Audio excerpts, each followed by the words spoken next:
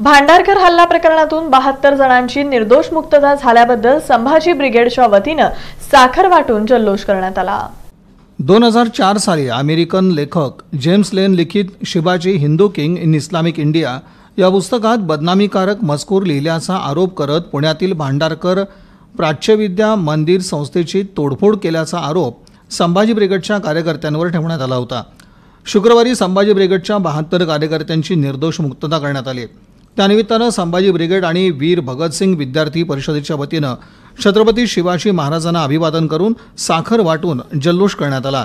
संभाजी ब्रिगेडचे शहराध्यक्ष श्याम कदम यांनी संघटनेच्या बहात्तर मावळ्यांची निर्दोष मुक्तता झाल्याबद्दल आनंद व्यक्त केला. गेल्या पंधरा वर्षापूर्वी पुणे येथील भांडारकर इन्स्टिट्यूटवर संभाजी ब्रिगेडच्या बहात्तर छाव्यांनी जो सांस्कृतिक दहशतवाद संपूर्ण त्यांना मिटवला. त्यापैकी आमच्या सोलापूर जिल्ह्यातील महेश सावंत आणि त्यांच्या बात्र माव्याने भंडारकरवर हल्ला करून सांस्कृतिक वाद मिटवण्याचं काम केलेलं आहे. आज सर्व आज न्यायालयाच्या निर्णयाने त्या बात्र माव्यांची निर्दोष मुक्तता करण्यात आलेली आहे. त्या निर्णयाचं आम्ही संभाजी ब्रिगेडच्या वतीने आणि वीर भगतसिंग विद्यार्थी परिषदेच्या वतीने या ठिकाणी छत्रपती शिवाजी महाराजांना अभिवादन करून आनंदोत्सव साजरा करीत आहोत. आणि या ठिकाणी आम्ही साखर वाटप करून सर्वांचं तोंड गोड केलं आहे. कारण ही गोड बातमी आलेली आहे. कारण तेरा वर्षापासून आम्ही जो प्रदीर्घ लढा दिला होता त्याचं हे आज यश मिळालेलं आहे.